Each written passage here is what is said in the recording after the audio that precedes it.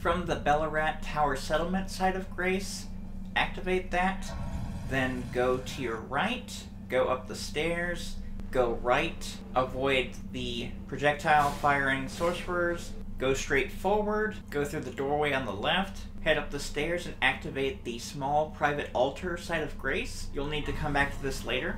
Then go up the stairs, avoid that enemy, he is very strong. Then go up the rooftops, go across them, go left, then right, go up the ladder, and there you can grab the storeroom key.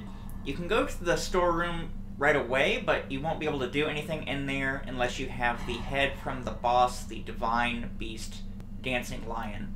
Once you have that, go back to the small private altar site of Grace, and then go left instead of right this time. You can kill the projectile shooting sorcerers from before, and then go left.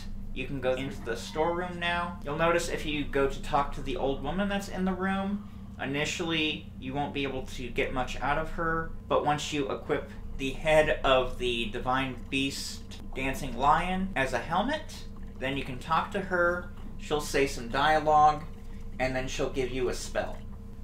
And the spell is this, and there you go.